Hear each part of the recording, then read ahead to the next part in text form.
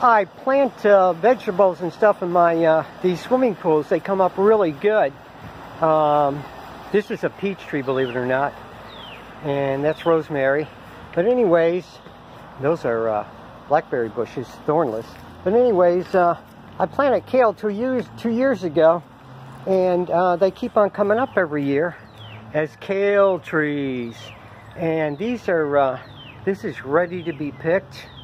As you can see, these are, and you can see how far off the ground they are. Unbelievable. Also, um, got some lettuce that's coming up from last year too.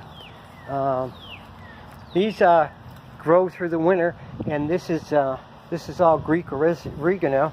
I planted some. Um, there should be some large bok choy coming out of there. Anyways, I just wanted to show you my garden and the rest of my backyard. My dogwood tree. That's a new tree. And jacuzzi. All right. Ron Joe signing out.